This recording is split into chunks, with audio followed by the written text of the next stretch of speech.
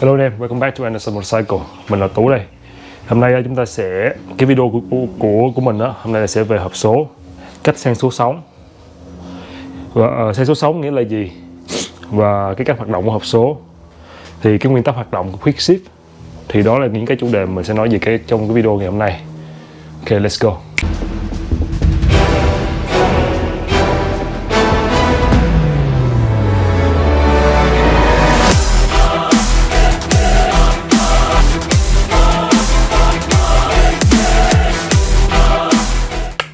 Nhưng mà trước tiên á chúng ta phải coi chị trải qua cái quá trình là lôi cái hộp số ra như thế nào.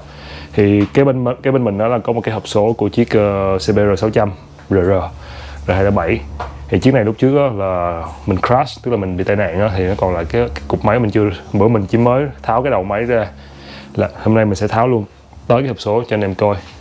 Trước khi chúng ta bắt đầu vào công việc tháo hộp số ra chúng ta phải cần có một số uh, công cụ như là bao tay để bảo vệ tay. Và khi mà xài tới ờ, đụng tới dầu á, thì chúng ta vẫn còn cái grip tức là cái ờ, độ bám trên bàn tay á, thì mình sẽ xài bao tay. Và cái không thể thiếu đó là cái mắt kiến. Khi mà anh em làm việc tới máy móc này nọ bất cứ là tháo hoặc là máy không chạy không nên xài kiến.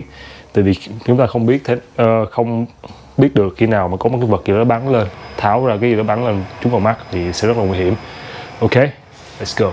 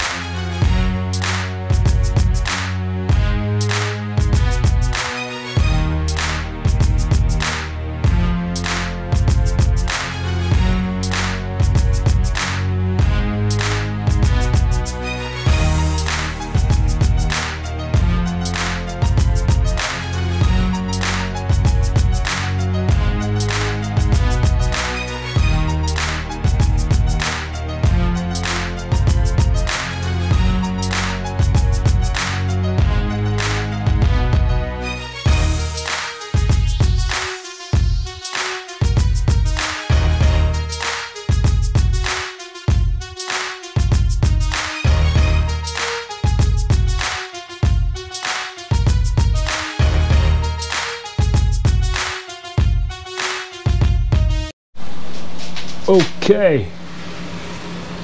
Thì trước tiên đó là cái nguyên tắc hoạt động của cái này Của cái hộp số. Thì ở đây á, chúng ta có rất là nhiều bánh răng ha. Thì cơ bản á Thì những cái bánh răng này á Để mình lấy ra cho anh em coi. Thì trong phần cái này nè Nó sẽ có những cái ờ, cái lỗ, cái cái những cái rãnh nè. Đó, thấy không? Những cái rãnh này nè. Đó, mấy cái rãnh này nè. Thì mấy cái rãnh này á Sorry mấy cái rãnh này á là để mấy cái răng bánh răng này mấy cái khúc này nè. Nó chọt vô rồi nó nằm yên ở trong đó. Thì khi này á ta gọi là cái này engage gear nè. Đó nó nằm đi trong kính cứng nhắc rồi nè à. thì nó sẽ engage. Uh, ok.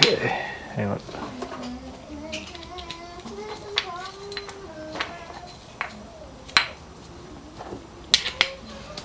Đó. Thì khi mà chúng ta để lên đây thành một cái vấn đề khác. Thì ở số mo tức là không có cái ghi không có cái, cái số nào được ờ, engage đó thì đây là số mo. Chưa phải là số mo.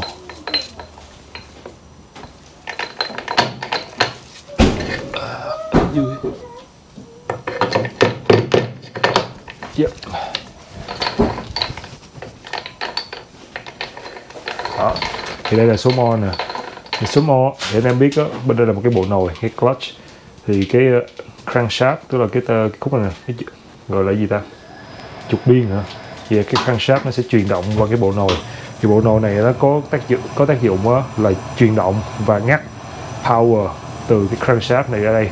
Thì cái bộ nồi đây sẽ giống như là khi nào nó nó hoạt động đây nè đây là cái input shaft nè thì khi mà ở số mo là không có bất cứ cái gear nào nó nó được engage tức là nó nó được uh, dính lại á.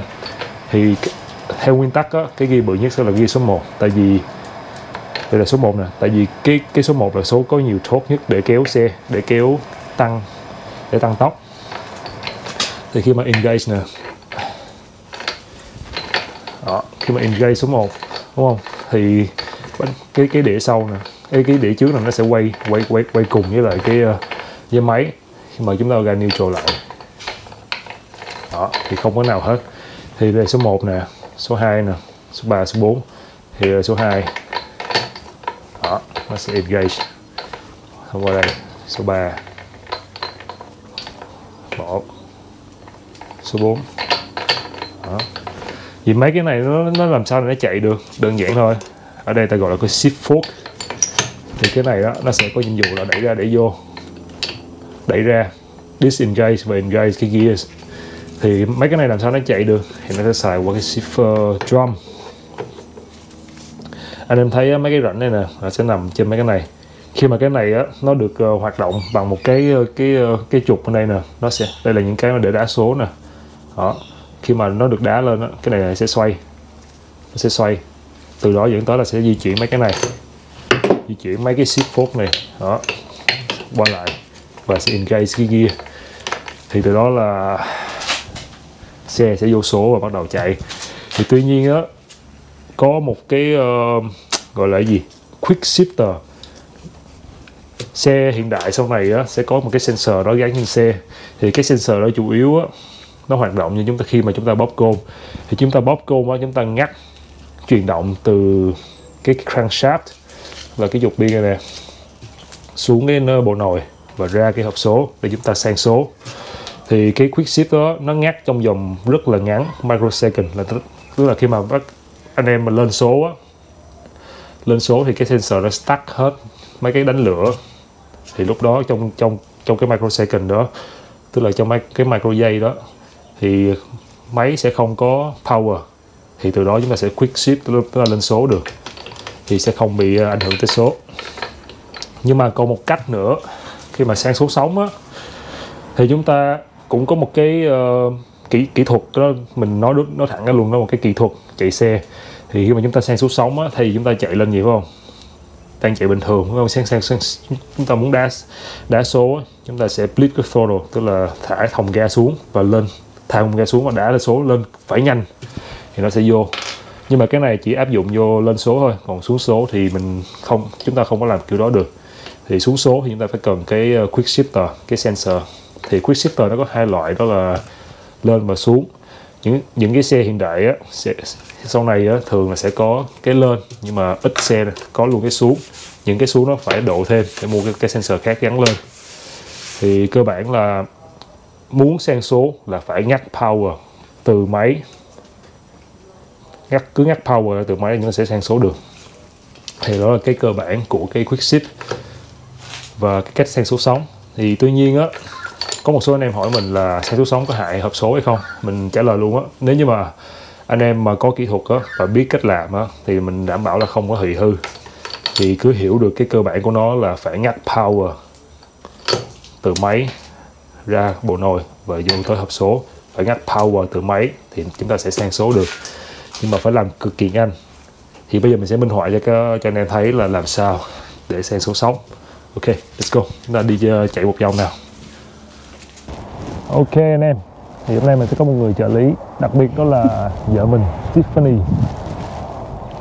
À, bây giờ trước, tiên đó mình sẽ giới thiệu với anh em là cái cách mà chúng ta chuyển đổi từ cái cách mà lên số thường sang ờ, cách mà sang số giống như là trong MotoGP hoặc là hoặc là, hoặc là W. SBK nói chung mấy mấy mấy racer hay xài á thường bình thường mình chạy á là móc lên. Không phải đạp xuống xong rồi năm số còn lại là móc lên đúng không? Còn uh, mà cái số mà kiểu mà race racing á thì người ta sẽ để là một móc lên còn lại là đạp xuống hết. Đó, thì cái kiểu sang số đó nó nhanh hơn. Nếu như mà anh em mà xài quick shift á thì anh em nên xài cái loại đó thì đường thẳng kéo rất là nhanh. Thì tiết kiệm được khoảng thời gian mà phải bóp côn sang số và mình thấy mình có cảm giác đó là mình đạp xuống á mình nó dễ chịu hơn là mình móc số lên số. Khi mà làm trong một khoảng thời gian ngắn á ok giờ ờ, để hướng dẫn cho anh em cái cách mà chuyển chuyển từ số thường sang uh, sang số ngược ok đây là cái con R1 của mình ha đời 209 à không 211 chứ.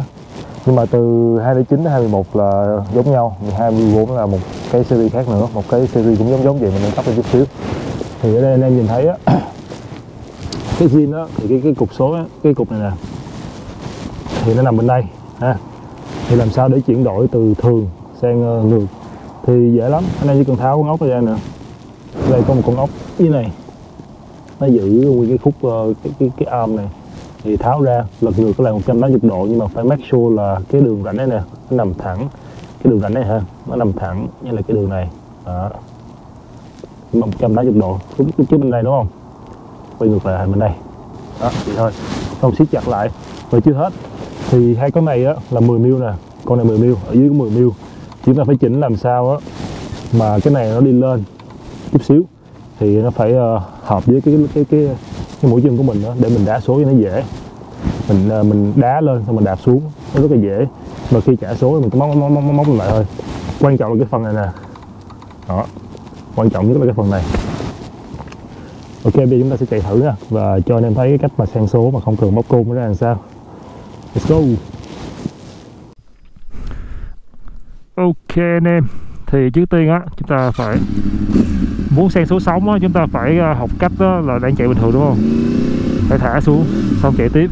Kiểu như là thòng ga á, đang chạy nè. Thả xuống xong, xong lên lại liền á. Ok thì thì uh, bây giờ là số 1 nè thì mình đá lên. Tại vì bây giờ là tại mình đã đổi xe số ngược á. Giờ bắt đầu chạy ha. Thì mình không không có xài tay cô mình thòng ga. Đó thòng ga mình lên số. Nó phải làm dứt khoát nha. Số 4 nè. Số 5 nè. Số 6 nè. Đó. Còn nếu như mà ờ, muốn mà trả số thì cái đó phải còn là họ kỹ thuật kỹ thuật ờ, phải tập rất, rất là nhiều thật ra lên số lên số xuống số sống á là được hết á. Nhưng mà phải tập á.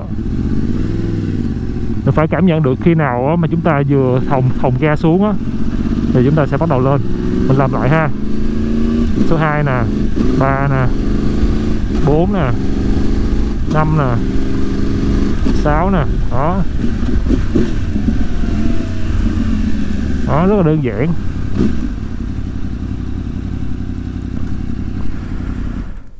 Ok thì uh, chủ yếu là chúng ta sẽ học cách đó là đang chạy bình thường. Xong rồi chúng ta đang lên ga phải không? Chúng ta làm, làm tới. Thòng cái xong lên lại liền.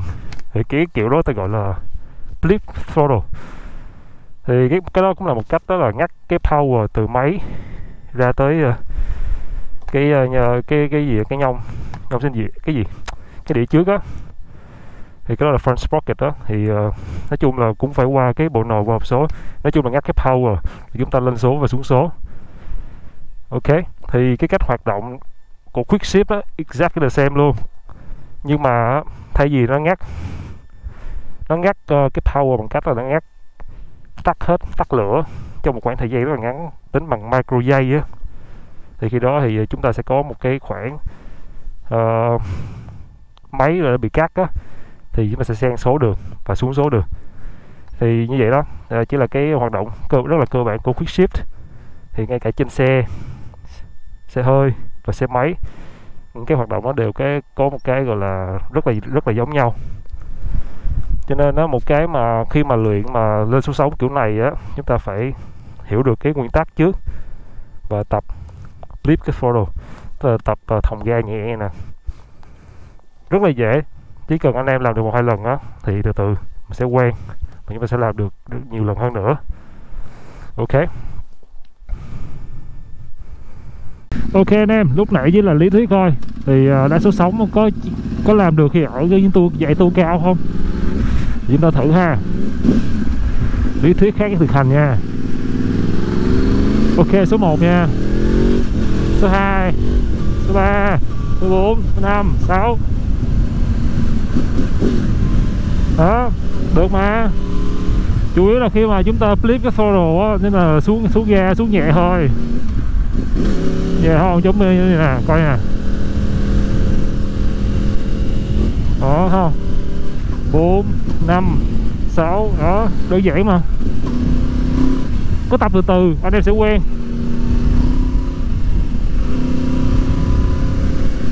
Đặt lại cái nữa ha số ba đây số 3 nè.